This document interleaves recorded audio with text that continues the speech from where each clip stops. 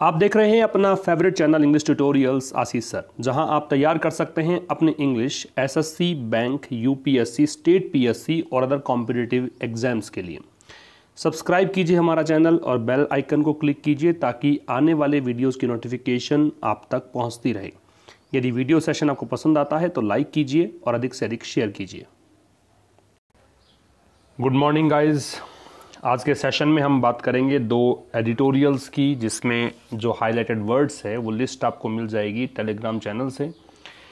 इस दो editorial sessions जो हम डिस्कस करने वाले हैं पर्टिकुलरली इन्हीं का स्क्रीनशॉट आप प्राप्त कर सकते हैं टेलीग्राम चैनल से, साथ ही इसकी पीडीएफ भी प्राप्त की जा सकती है। तो टेलीग्राम चैनल पर अगर अब तक नहीं जुड़ पाए हैं आप तो सीधे आप टेलीग्राम पर जाकर सर्च कर सकते हैं। हमारे चैनल का नाम इंग्लिश ट्यूटोरियल आशीष सर या फिर आपको जो लिंक दिया है डिस्क्रिप्शन में, उसके माध्यम से भी आप कनेक्ट हो सकते हैं। आशीष क्लासेस ऐप का जो लिंक दिया है, उसके द्वारा आप हमारी ऐप को डाउनलोड कर सकते हैं। वहाँ से जो पेड कोर्सेज हैं, एसएससी और बैंक, या फिर दोनों के लिए, वो आप वहाँ से प्राप्त कर सकते हैं। चलिए स्टार्ट करते हैं ये सेशन। आपसे उम्मीद है कि आप अधिक से अधिक संख्या में लाइक करेंगे, अधिक से अधिक संख्या में शेयर करेंगे, ताकि वो विद्यार्थी, जो कि एक सही प्रकार से एडिटोरियल एक्सेस करना चाहते हैं, सीखना चाहते हैं कि कैसे न्यूज़पेपर पढ़ा जाता है, उनको भी हेल्प मिल पाएगी। तो मॉब्ड फ्रीडम्स सबसे पहला एडिटोरियल है मॉब्ड फ्रीडम मॉफ्ड का मतलब होता है बदला हुआ चेंज्ड कह सकते हैं आप। तो फ्रीडम्स वो स्वतंत्रता, वो आज़ादी, जो कि बदली हुई आज़ादी है अलग अलग लोगों के लिए अलग अलग प्रकार की आज़ादी है, ये कहा गया है इस हेडलाइन में। By seeking an apology while granting bail the supreme court downplayed the misuse of law by seeking an apology apology का मतलब होता है माफ़ी। सीक का मतलब चाहना या तलाश करना होता है। बाई प्रपोजिशन है, इसलिए यहाँ पे seeking I N G form का प्रयोग है। तो माफ़ी मांगने के द्वारा माफ़ी मांग कर वाइल ग्रांटिंग बेल बेल का मतलब जमानत है ग्रांट का मतलब स्वीकार करना है। तो जमानत देने के दौरान जो माफ़ी चाही गई है सुप्रीम कोर्ट के द्वारा तो सुप्रीम कोर्ट ने downplayed the misuse of law तो जो मिस यूज़ ऑफ़ लॉ है, दुरुपयोग है कानून का, उसको उसने डाउन प्ले किया है सुप्रीम कोर्ट ने। डाउन प्ले का मतलब होता है अपमानित करना कह सकते हो या किसी चीज़ की इम्पोर्टेंस को घटाना कह सकते हो। तो जो दुरुपयोग होता है, कानून का जो दुरुपयोग हुआ है, गलत तरीके से किसी व्यक्ति के खिलाफ कानून का यूज़ किया गया है तो उस मिसयूज़ ऑफ़ लॉ को डाउन प्ले कर दिया है सुप्रीम कोर्ट ने किसके द्वारा जमानत देकर जो माफ़ी मांगना चाहिए तो ये पूरा मामला क्या है, वो पूरा समझ में आएगा उसको पढ़ने के बाद। लेकिन जो इसका एग्जैक्ट मीनिंग है, वो बता रहा हूँ आपको by seeking an apology apology का मतलब माफ़ी है सीख का मतलब चाहना है ग्रांट का मतलब स्वीकार करना है बेल का मतलब जमानत है। तो जमानत देने के दौरान, जमानत स्वीकार करने के दौरान जो सुप्रीम कोर्ट के द्वारा अपोलॉजी सीख की गई है, माफ़ी मांगी गई है तो इस प्रकार से मिस ऑफ़ लॉ है, उसको मतलब इसने डाउन प्ले किया है मतलब एक्चुअल में होना कुछ और चाहिए था, इसके खिलाफ कड़ी कार्रवाई होनी चाहिए, लेकिन माफ़ी मांग कर ही काम चलाया गया है तो डाउन प्ले किया है, ये कहना चाह रहा है the case of a BJP Yuva Morcha functionary being arrested in West Bengal for sharing a morphed image of chief minister Mamata Banerjee demonstrates how wrong and needlessly oppressive legal processes can turn out to be. The case of a BJP Yuva Morcha functionary functionary का मतलब कार्यकर्ता कह सकते हैं आप। तो जो case हुआ बीजेपी युवा मोर्चा के कार्यकर्ता। Being arrested in West Bengal जिन्हें गिरफ़्तार किया गया वेस्ट बंगाल में, किसके लिए गिरफ़्तार किया गया, वो आगे कारण दे रखा है आपको। तो फोर एक ऐसा प्रपोजिशन है जो आपको बता सकता है, प्रयोजन क्या था, उद्देश्य क्या था। प्रपोजिशन प्लस आईएनजी मैंने बताया आपको हेडलाइन में ही। तो वैसे ही यहाँ पे फॉर शेयरिंग है। For sharing a morphed image of chief minister Mamata Banerjee मुख्यमंत्री ममता बनर्जी की एक इमेज मॉफ्ड इमेज थी। मतलब उसमें उस इमेज उस तस्वीर से छेड़छाड़ करके एक तस्वीर जो शेयर की गई थी, उसके कारण उनको गिरफ़्तार किया गया। ये दर्शाता है डेमोन्स्ट्रेट करता है मतलब दर्शाता है। अब ये डेमोन्स्ट्रेट इसलिए आ रहा है क्योंकि यहाँ पर द केस ये जो केस है सिंगुलर है, इसलिए यहाँ पे डेमोन्स्ट्रेट्स का प्रयोग है सिंगुलर का प्रयोग है। How wrong and needlessly oppressive कि कितना गलत और कितना बगैर किसी आवश्यकता के दमनकारी ऑपरेसिव का मतलब दमनकारी होता है, अत्याचारी होता है लीगल प्रोसेसेज जो कानूनी तरीके हो सकते can turn out to be turn out का मतलब है रिज़ल्ट के रूप में बाहर आना। किस प्रकार से दमनकारी जो नीतियाँ हैं, जो लीगल प्रोसेसेस हैं, वो कितना ऑपरेसिव हो सकती हैं नीडलेसली और कितना गलत हो सकती हैं, ये पता लगा इस केस के द्वारा। The police in Howrah registered a case Howrah में पुलिस ने एक केस रजिस्टर किया। And arrested Priyanka Sharma under irrelevant non existent provisions और प्रियंका शर्मा को गिरफ़्तार किया। इरेलीवेंट का मतलब असंगत होता है नॉन एग्जिस्टेंट प्रोविजंस का मतलब है, वो नियम जो कि अस्तित्व में है ही नहीं। वो नियम जो कि एग्जिस्ट नहीं करते हैं। तो उन नियमों के तहत और असंगत नियमों के तहत कह सकते हैं कि प्रियंका शर्मा को हावड़ा पुलिस ने रजिस्टर केस रजिस्टर करके गिरफ़्तार कर लिया। A magistrate showed little application of mind एक मजिस्ट्रेट ने अपना दिमाग बिल्कुल भी नहीं लगाया। लिटिल एप्लीकेशन एप्लीकेशन अप्लाई करने का प्रोसेस होता है। लिटिल लगा रखा है, इसका मतलब यहाँ पे ना के बराबर है।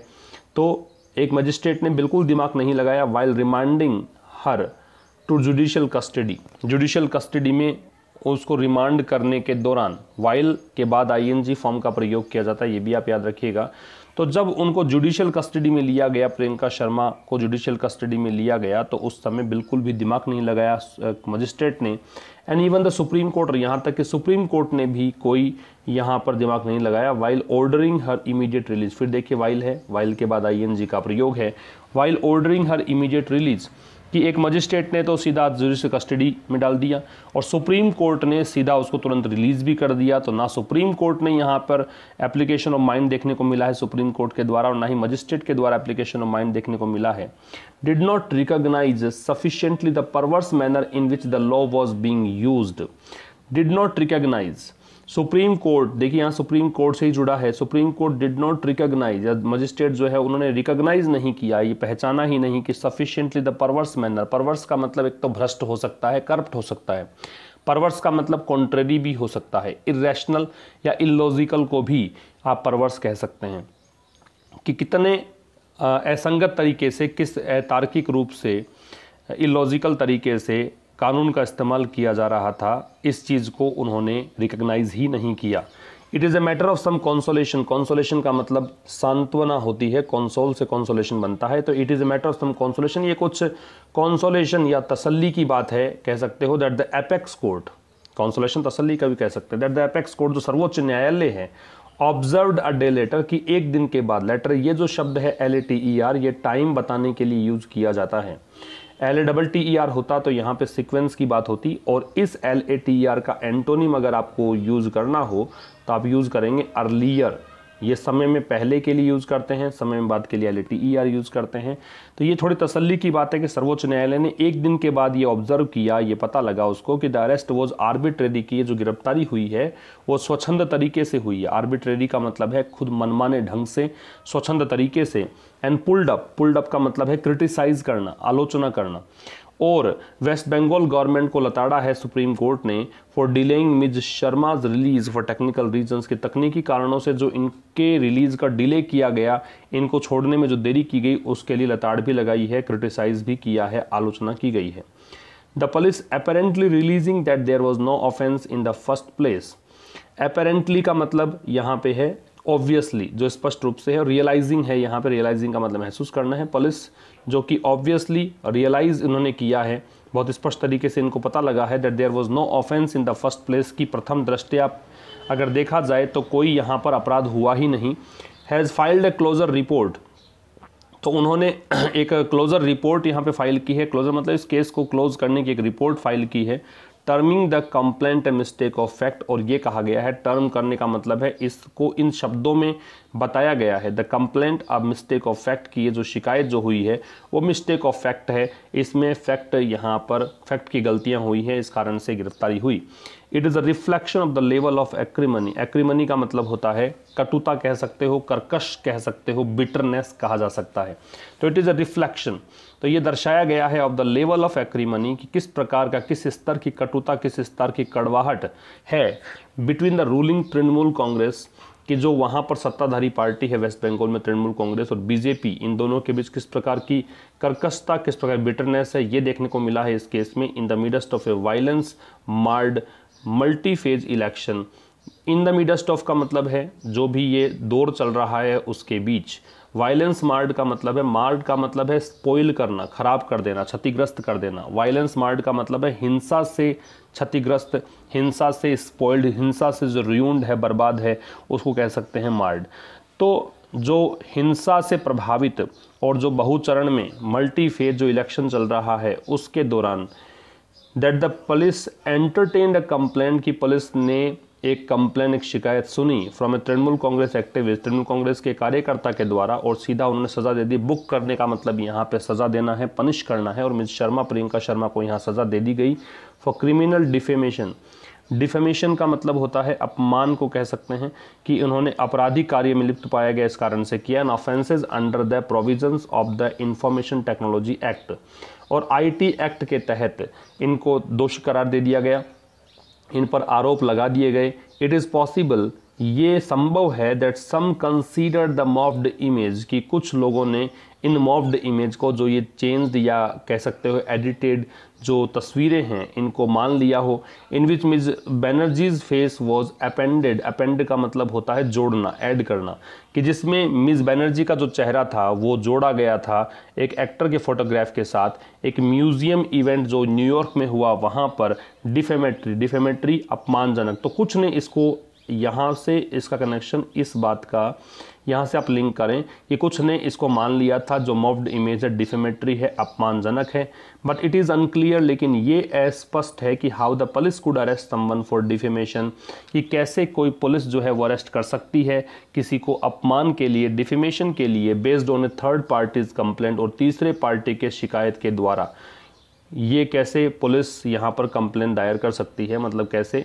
आप किसी केस को इस प्रकार से देख सकते हो। आ, cyber crime police station handle the case. Cyber crime police station ने इस केस को हैंडल किया। अपेरेंटली का मतलब बताया था मैंने, बिल्कुल क्लियरली ऑब्वियसली स्पष्ट रूप से because it involve section 66 A of the IT act क्योंकि इसमें शामिल था section 66 A of the IT act इस धारा के तहत इसको मतलब शामिल किया गया, इस धारा को शामिल किया गया। इसमें अ प्रोविज़न एक ऐसा नियम डिक्लेयर्ड अनकॉन्स्टिट्यूशनल 2015 जिसको 2015 में ही असंवैधानिक करार दे दिया गया था कि ये अनकॉन्स्टिट्यूशनल है, ये एक्ट जो है वो अनकॉन्स्टिट्यूशनल है। एंड सेक्शन 67 ए और जो सेक्शन 67 ए है, सड़सठ ए है which can be used only when sexually explicit material is transmitted in electronic form ये एक ऐसा दारा है एक ऐसा सेक्शन है जिसका इस्तेमाल केवल तभी किया जा सकता है जो सेक्सुअली एक्सप्लिसिट मटेरियल है उसको प्रसारित किया गया हो। ट्रांसमिट का मतलब है प्रसारित करना। इज़ ट्रांसमिटेड है, पैसिव का स्ट्रक्चर है।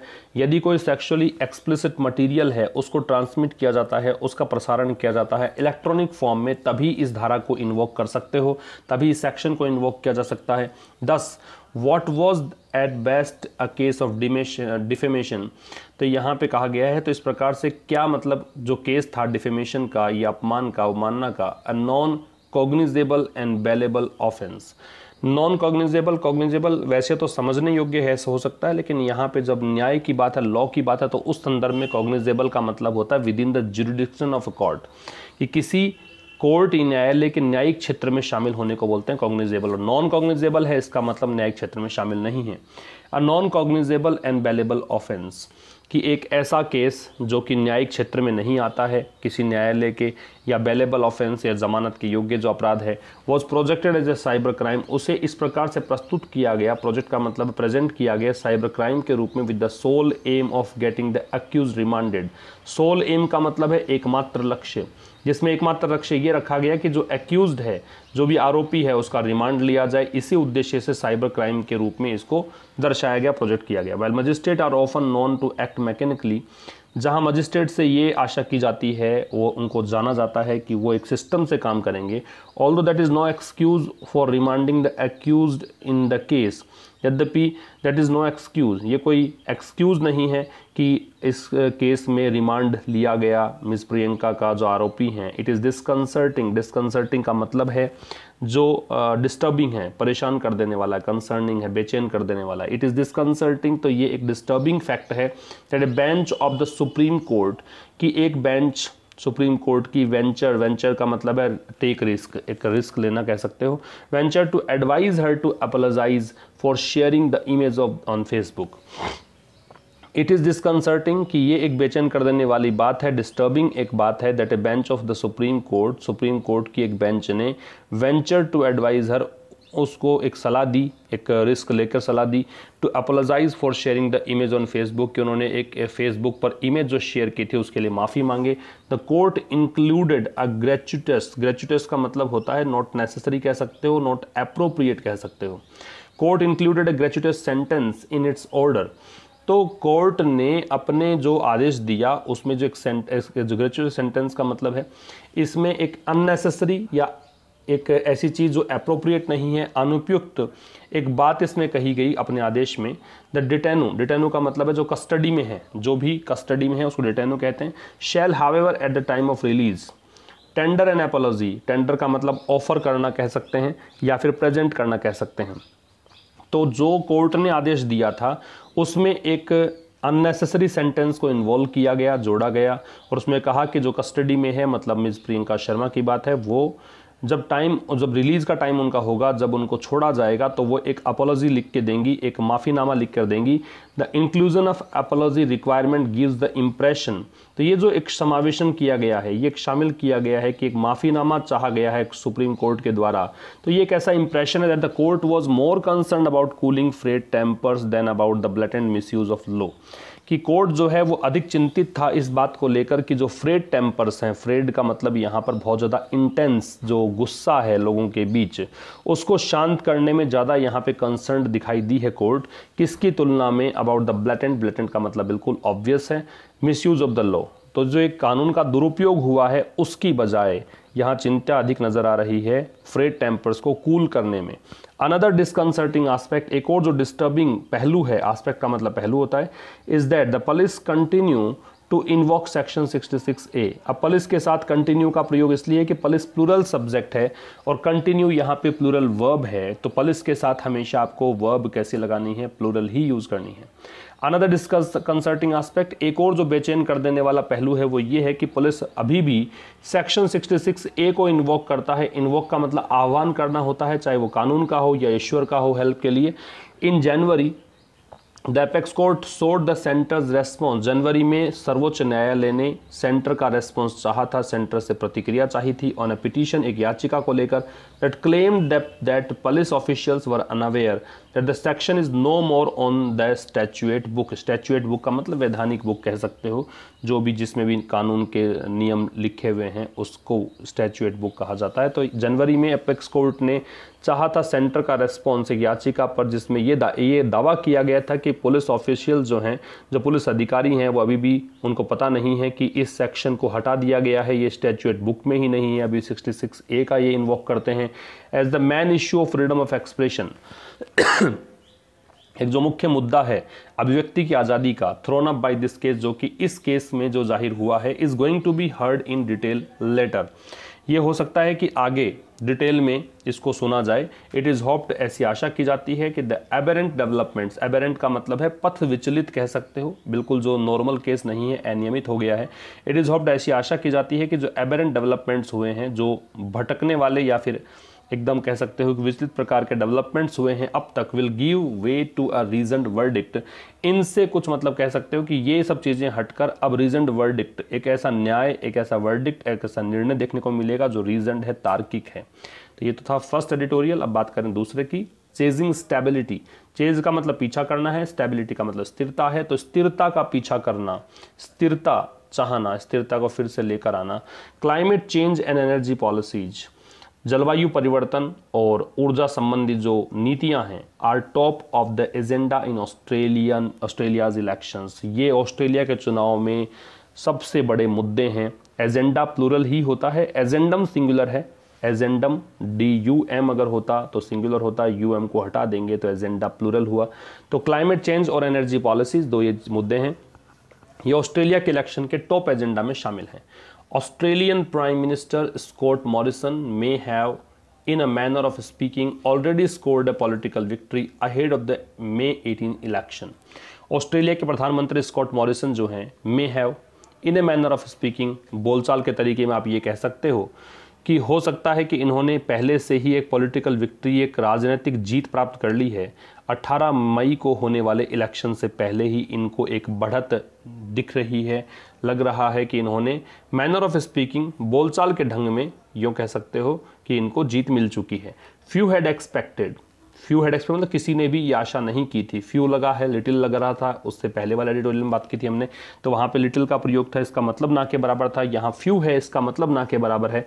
तो फ्यू हैड एक्सपेक्टेड कि बहुत कम ने या फिर कहें कि ना के बराबर लोग हैं जिन्होंने एक्सपेक्ट किया है the socially conservative politicians to lash out the reminder of parliament term when he took over as prime minister in August following a coup within the ruling Liberal Party coup का मतलब षड्यंत्र होता है। कू, तख्ता पलट, षड्यंत्र उसको सैन्य विद्रोह इसके लिए यूज़ करते हैं। तो फ्यू हैड एक्सपेक्टेड किसी ने भी ये आशा नहीं की थी। द सोशली कंजर्वेटिव पॉलिटिशियन कि जो एक सामाजिक रूप से एक कंजर्वेटिव पॉलिटिशियन है, परंपराओं का अनुसरण करने वाले जो पॉलिटिशियन है to lash out lash out का मतलब होता है आलोचना करना क्रिटिसाइज करना, कि वो क्रिटिसाइज करेंगे the reminder of parliament parliament's term जो संसद का जो बचा कुचा समय है, उसकी आलोचना करेंगे। When he took over as prime minister जब उन्होंने सत्ता संभाली थी, जब उन्होंने प्राइम मिनिस्टर की शपथ ली थी इन अगस्त अगस्त में एक सैन्य विद्रोह के बाद, एक कू के बाद, एक राजनीतिक षड्यंत्र के बाद within the ruling Liberal Party और ये जो कू हुआ था, ये जो सैन्य विद्रोह या फिर कहें कि एक षड्यंत्र था, ये जो विद्रोह देखने को मिला था रूलिंग पार्टी में ही देखने को मिला था रूलिंग पार्टी कौन सी है? Liberal Party in the past पिछले दिनों में the country has seen many heads of government toppled toppled का मत तख्ता पलट को बोलते हैं। तो कंट्री ने देखे हैं, देश ने देखे हैं, बहुत सारे गवर्नमेंट्स के हेड को तख्ता पलट होते हुए देखा है। बहुत सारे ऐसे नेता देखे हैं जहाँ पर गवर्नमेंट के हेड मतलब प्राइम मिनिस्टर्स को देखा है जो तख्ता पलट के शिकार हुए हैं। दैट सेड सैटरडेज इलेक्शन में not prove an easy ride for the former marketing executive तो दैट साइड यो कह सकते हो इसमें कि सैटरडे को होने वाला जो इलेक्शन है, अठारह मई के जो इलेक्शन है may not prove an easy ride ये हो सकता है कि एक आसान राह नहीं हो for the former marketing executive जो भूतपूर्व मार्केटिंग एग्जीक्यूटिव है मतलब ये जो मॉरिसन है, उनके लिए the polls may not signal an end to the political instability ये जो चुनाव हैं पोल्स चुनाव ये हो सकता है मे पॉसिबिलिटी प्रोबेबिलिटी डिनोट करने के लिए यूज़ किया जाने वाला मॉडल है। तो चुनाव है, हो सकता है कि वो संकेत नहीं है कि पॉलिटिकल इनस्टेबिलिटी का अंत हो जाएगा, राजनीतिक जो अस्थिरता का दौर चल रहा है ऑस्ट्रेलिया में, उसका अंत हो जाएगा, ये संभवतः उसका संकेत नहीं है। वो राजनीतिक अस्थिरता जिसने that has dogged that relative pronoun हुआ इनस्टेबिलिटी की बात कर रहे हैं, इसीलिए यहाँ पे हैज़ का प्रयोग है। हैज़ है, इसलिए यहाँ पे वर्ब की थर्ड फॉर्म का प्रयोग है, क्योंकि हैज़ हैव हैड इन सब के साथ पास्ट पार्टिसिपल फॉर्म का प्रयोग करते हैं वर्ब की थर्ड फॉर्म का प्रयोग करते हैं। डॉग्ड का मतलब क्या है? डॉग्ड का मतलब है लगातार पीछा करना। तो यहाँ पे है कि वो political instability that has dogged Australian politics of late of late का मतलब है रिसेंटली हाल ही में जिसने ऑस्ट्रेलिया को लगातार फॉलो किया है, लगातार यहाँ पे चेज किया जा रहा है। From combating climate change to shaping energy policies देखिए फ्रॉम और टू का यहाँ कॉम्बिनेशन है। यहाँ से लेकर यहाँ तक ये कहना चाह रहा है तो फ्रॉम कॉम्बैटिंग क्लाइमेट चेंज जलवायु परिवर्तन है, उससे लड़ना उससे लेकर शेपिंग एनर्जी पॉलिसी ऊर्जा नीति जो है, ऊर्जा संबंधी नीतियाँ हैं, उसको शेप करना। Mr Morrison Liberal Party Mr Morrison की लिबरल पार्टी है इज़ डिवाइडेड हाउस ये पार्टी मतलब बटी हुई है दो अलग अलग हिस्सों में बिटवीन मॉडरेट्स एंड कंजर्वेटिव्स ये दो अलग अलग ग्रुप बन गए हैं इनके। दीज डिफरेंसेज ये जो मतभेद हैं डिफरेंस का मतलब मतभेद होता है। वर मैनिफेस्ट मैनिफेस्ट का मतलब ऑब्वियस हैं, जो देखने में आ रहा है। तो ये जो मतभेद हैं, वो बिल्कुल ऑब्वियस थे, स्पष्ट थे। In the ousting of the Malcolm Turnbull last year ousting का मतलब एक्सपेल होता है, बाहर निकालना होता है, निर्वासन होता है। तो जब ये देखने को मिले, एकदम स्पष्ट रूप से मतभेद देखने को मिले, जब मेलकम टर्नबुल को पिछले साल आउस्ट किया गया हटाया गया। And continue to elude resolution resolution का मतलब एक प्रस्ताव हो सकता है एल्यूड का बचना है, और जब लगातार इनका जो एक रवैया था, एक रेजोल्यूशन से बचते दिख रहे थे, उस समय ये देखने को मिला इनके differences the world's driest inhabited continent inhabited का मतलब है जो ऑक्यूपाइड है, जहाँ पर लोग रह रहे हैं तो विश्व का सबसे ज़्यादा सूखा और इनहेबिटेड कॉन्टिनेंट है, ये ऐसा महाद्वीप है जो ओस्ट, जो विश्व का सबसे ज़्यादा सूखा महाद्वीप है और वहाँ पर लोग रहते भी हैं, इज़ कन्फ्रंटिंग कन्फ्रंटिंग का मतलब सामना करना होता है। इट्स ओन वलनरेबिलिटी वलनरेबिलिटी का मतलब कमज़ोरी है to the effects of global warming तो ये जो एक कॉन्टिनेंट है, वो उसकी, उसका सामना है, उसका कन्फ्रंटेशन है किस से अपनी खुद की कमजोरियों से to the effects of global warming कमजोरियाँ किसके खिलाफ है, किसके प्रति है तो यहाँ पर ग्लोबल वार्मिंग जो वैश्व ग्लोबल वार्मिंग है, उसके प्रभाव से जो वलनरेबिलिटी देखने को मिल रही है ऑस्ट्रेलिया में उससे कन्फ्रंटेशन इसका चल रहा है। Australia among the world largest wheat exporters Australia, जो विश्व के सबसे बड़े गेहूँ निर्यात करने वाले देशों में से आता है हैज़ बीन फोर्स्ड ये पैसिव वॉइस का स्ट्रक्चर है, ये मजबूर है टू टेक रिकोर्स रिकोर्स का मतलब क्या है? रिकोर्स का मतलब है साधन कह सकते हो। Force to take recourse to bulk imports of the grain तो सबसे बड़ा निर्यातक जो देश हैं विश्व के, उनमें से एक ऑस्ट्रेलिया। अब ये मजबूर है टू टेक रिकोर्स एक मीडियम एक साधन लेने के लिए टू बल्क बल्क का मतलब होता है बहुत बड़ी मात्रा में इम्पोर्ट्स ऑफ़ द ग्रेन तो अब ये देखिए, इसको आयात करना पड़ रहा है अनाज का। कॉन्सिक्वेंट का मतलब होता है बाद में two severe droughts in its eastern states over two years क्योंकि पिछले दो सालों में यहाँ पर बड़ा सूखा पड़ा है। ड्रॉट का मतलब सूखा है, गंभीर सूखा पड़ा है। उसके बाद से इसको आयात करना पड़ रहा है, जो कि बहुत बड़ा निर्यातक देश है। Mr Morrison a supporter of coal generated power Mr Morrison जो प्रधानमंत्री हैं, जो कि समर्थक हैं कोल जनरेटेड पावर के कोयले से बिजली जनरेट करने के संदर्भ में मतलब कह सकते हो कि ये बहुत सपोर्ट करते हैं इस चीज़ को। May also find his hardline stance hardline का मतलब है सख्त। स्टांस का मतलब है रवैया। मे ऑल्सो फाइंड हो सकता है कि अपने जो सख्त रवैया है इमिग्रेशन को लेकर, पलायन को लेकर difficult to defend in the wake of in the wake of का मतलब होता है परिणाम स्वरूप the terrorist attack in neighbouring New Zealand जब पड़ोस में ही एक देश है, न्यूजीलैंड, उनमें जो आतंकवादी हमले हुए हैं, उसके बाद में उसके परिणाम स्वरूप जो मिस्टर मॉलिसन हैं, जो कि कोल जनरेटेड पावर के सपोर्टर हैं, ये हो सकता है कि उनका जो हार्डलाइन स्टांस है, उसको मुश्किल, उनको लगे कि उनका जो सख्त रवैया है, इमिग्रेशन को लेकर वो डिफ़िकल्ट है डिफेंड करना। वो अब डिफेंड नहीं कर पाएँगे इस चीज़ को।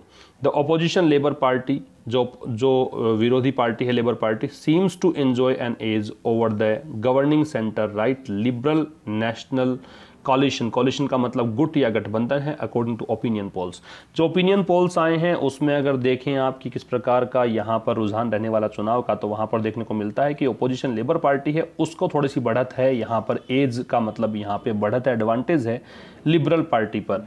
इट्स लीडर बिल शॉर्टन उसके जो नेता हैं बिल शॉर्टन लेबर पार्टी के has rallied the party during its time rallied का मतलब यहाँ पे रैली अगर वर्ब के रूप में इसका मतलब रिकवर किया है। उन्होंने उस पार्टी को उस समय संभाला था रिकवर किया था during its time in the opposition in the last six years जो पिछले छः सालों से अपोजिशन बैठी है, उस समय से रिकवर इन्होंने किया है। साथ लेकर चले हैं। Labor's advantage stems from stem from का मतलब है ओरिजिनेट फ्रॉम कहीं से निकलने को बोलते हैं स्टेम फ्रॉम ओरिजिनेट from तो Labor's advantage stems from its promise of a living wage tighter regulation ambitious targets on carbon emissions अब लेबर पार्टी को एडवांटेज क्यों है? क्योंकि ये देखिए, यहाँ से ओरिजिनेट होता है इसका एडवांटेज कि इनका प्रॉमिस है लिविंग वेज कि वो अच्छे से मजदूरी देंगे, जीव आजीविका यापन करने के लिए वेज देंगे टाइट रेगुलेशन सख्त नियमन करेंगे एम्बिशियस टारगेट्स और उनके महत्वाकांक्षी जो लक्ष्य हैं कार्बन एमिशंस को लेकर कार्बन का उत्सर्जन बहुत ज़्यादा है, उसको रेगुलेट करने संबंधी ये सब करेंगे, इस कारण से इनको एडवांटेज दिख रहा है। 45 percent reduction in carbon emissions on 2005 levels by 2030 is part of its manifesto अब घोषणा पत्र मैनिफेस्टो का मतलब घोषणा पत्र है तो 45 प्रतिशत रिडक्शन हम कर देंगे, ये इन्होंने कहा है लेबर पार्टी ने। कार्बन एमिशन में ऑन 2005 लेवल्स बाई 2030 2030 तक 45 परसेंट रिडक्शन हम कर देंगे। Is part of its manifesto ये एक हिस्सा है उनके घोषणा पत्र का। एम्ड एट अपीलिंग एम के साथ एट लगता है प्रपोजिशन इसलिए आई है। Aimed at appealing to Australia's growing number of green voters क्योंकि ये ग्रीन वोटर्स जो हैं ग्रीन वोटर्स का मतलब है ग्रीन पार्टी है और ये एक कह सकते हो इको पॉलिटिक्स है एक प्रकार की, जो भी पार्टी जो भी नेता इकोसिस्टम को संभालने की बात करता है क्लाइमेट चूँकि वहाँ बहुत बड़ी समस्या है, उसको हैंडल करने की बात करता है, उस प्रकार के वोटर्स जो उनके पक्ष के जो वोटर्स हैं, उनको लुभाने का ये काम करेगा। इसी कारण से इन्होंने घोषणा पत्र में ये चीज़ शामिल की है। कन्वर्सली का मतलब बिल्कुल ऑपोजिट बिल्कुल विपरीत। Conversely the pro business credentials of Mr Morrison Liberal National coalition are said to have been steadily eroded as the government has reneged on its promise of corporate tax cuts reneged का मतलब है promise पूरा ना करना। रहने का मतलब promise पूरा ना करना प्रॉमिस तोड़ देना। इसके विपरीत जो प्रो बिज़नेस क्रेडेंशियल्स है प्रो बिज़नेस का मतलब है अगर रूप से सक्रिय जो बिज़नेस क्रेडेंशियल्स है बिज़नेस के जो विशेषताएँ हैं मतलब कह सकते हो, जो करेक्टरिस्टिक्स हैं मिस्टर मॉरिसन के, जो कि मैंने पहले ही बताया, इसमें पहले मैंशन किया गया था कि ये एक बिजनेसमैन रह चुके हैं। तो मिस्टर मॉरिसन के जो लिबरल और नेशनल कॉलिशन है are said to have been steadily eroded अब ये कहा जा, जाता है उसके बारे में कि भाई ये धीरे धीरे कमज़ोर हो रहा है उनका ये जो क्रेडेंशियल्स है धीरे धीरे कमज़ोर हो रहे हैं। इरोड का मतलब है धीरे धीरे वीकेंड होना कमज़ोर पड़ जाना। क्योंकि गवर्नमेंट ने वादा खिलाफी की है। गवर्नमेंट जब सत्ता में आई थी अगस्त में तब उसने उन्होंने वादा किया था कि हम कॉरपोरेट टैक्स कट्स का इन्होंने वादा किया था। लेकिन ऐसा वो नहीं कर पाए इस कारण से ये यहाँ पर इरोड होते हुए नज़र आ रहे हैं। The package of measures unveiled in the pre-election budget in April may only have a moderate impact. The package of measures unveiled unveiled का मतलब पर्दा हटाने को बोलते हैं, सामने लेकर आने को बोलते हैं। द पैकेज ऑफ़ मेजर जो भी कदम चले जाएँगे, जो भी यहाँ पे मेजर्स है, जो भी स्टेप्स उठाए जाएँगे unveiled in the pre election budget जो कि प्री इलेक्शन बजट में सामने आए इन अप्रैल में only have a moderate impact हो सकता है। उनका प्रभाव थोड़ा सा ही पड़े मॉडरेट ही पड़े। As with several industrialise democracies बहुत सारी जो इंडस्ट्रियलाइज डेमोक्रेसीज है, ऐसे लोकतंत्र हैं जो उद्योग धंधों पर आधारित हैं voter disillusionment with the principal parties is yielding a fragmented polity and smaller parties and independents could potentially till the balance of power in the Senate तो as with the several industrialise democracies जो industrialised democracies हैं। Voter disillusionment का मतलब है मतदाताओं का भ्रम। Disillusionment का मतलब मति भ्रम होता है, भ्रम होता है। With the principal parties is yielding a fragmented polity यहाँ पे यील्ड का मतलब प्रोड्यूस करना। तो जिस प्रकार से इंडस्ट्रियल डेमोक्रेसी में देखने को मिलता है voter disillusionment with the principal parties जो मतदाताओं का प्रिंसिपल पार्टीज़ मुख्य पार्टीज़ से डिसल्यूजनमेंट है, मुख्य पार्टी से मतलब विमुख हो जाना है। Is yielding a fragmented polity ये एक प्रकार से फ्रेगमेंटेड पॉलिटी को उत्पन्न कर रहा है प्रोड्यूस कर रहा है। फ्रेगमेंट मतलब कह सकते हो टुकड़ों में बटी हुई पॉलिटी राजनीति। And smaller parties and independent तो छोटी पार्टीज़ जो हैं या फिर निर्दलीय जो लोग हैं could potentially tilt the balance of power in the Senate वो संभवतया जो बैलेंस ऑफ़ पावर है सीनेट में, संसद में, वो अपनी ओर झुका सकते हैं, वो अपनी तरफ़ इसको ले सकते हैं which is crucial for the passage of legislation जो कि इम्पोर्टेंट भी है क्रूशियल भी है। लेजिस्लेशन के पैसेज में विधेयक जो है लेजिस्लेशन है कानून है, नियम है, उसके तरीके में पैसेज में उसके गलियारे में कह सकते हो। पैसेज का मतलब यहाँ पे तरीका कह सकते हो, साधन कह सकते हो। With consistent economic growth and modest levels of unemployment, Australia has had a remarkable track record in recent decades. हाल ही के दशकों में कंसिस्टेंट इकोनॉमिक ग्रोथ यहाँ पर जो इकोनॉमिक ग्रोथ देखने को मिली है, बहुत ही कंसिस्टेंट देखने को मिली है and modest levels of unemployment और जहाँ पे अनएम्प्लॉयमेंट बेरोज़गारी है, उसके मोडेस्ट लेवल है मतलब यहाँ तक की बेरोज़गारी है, वो मतलब आप सहन कर सकते हो, ज़्यादा नहीं है। तो Australia has a remarkable track record recent decades हाल के दशकों में ऑस्ट्रेलिया का जो ट्रैक रिकॉर्ड है, वो शानदार रहा है रिमार्केबल रहा है। This scenario is in stark contrast stark का मतलब है ऑब्वियस बिल्कुल स्पष्ट कंप्लीट कह सकते हो शेयर कह सकते हो। तो ये जो परिदृश्य है, ये बिल्कुल विपरीत है to the incessant political swings incessant का मतलब लगातार, जो पॉलिटिकल स्विंग्स है, इसका मतलब राजनीति कभी इधर कभी इधर, अस्थिरता का दौर जो चल रहा है, उससे बिल्कुल विपरीत है। That impair the legislative agenda जो कि रुकावट डालते हैं पॉलिटिकल स्विंग्स राजनीतिक अस्थिरता, और ये स्विंग्स के लिए यहाँ पर इम्पेयर्ड है, रुकावट डालना। द लेजिस्लेटिव एजेंडा का मतलब है, जो भी विधानमंडल कह सकते हो, उनके जो एजेंडा है, उनमें व्यवधानकारी है। व्हाट इज़ विदाउट डाउट जो कि बिना किसी शक के is that the turnout will be high at the polls as voting is compulsory registered voters यहाँ पे टर्न आउट जो है, ये भी जो परिणाम निकलने वाला है, वो बहुत ही हाई रहेगा। एज द पोल चुनाव में, क्योंकि यहाँ पर वोटिंग कंपलसरी है रजिस्टर्ड वोटर्स के लिए अनिवार्य रूप से रजिस्टर्ड वोटर्स को यहाँ पर वोट देना होता है। तो ये हमने दो एडिटोरियल सेशंस आज के डिस्कस किए हैं सिक्सटीन ऑफ़ मे के। मिलेंगे कल सेवनटीन ऑफ़ मे को नए सेशन के साथ। तब तक नमस्कार। Thank you very much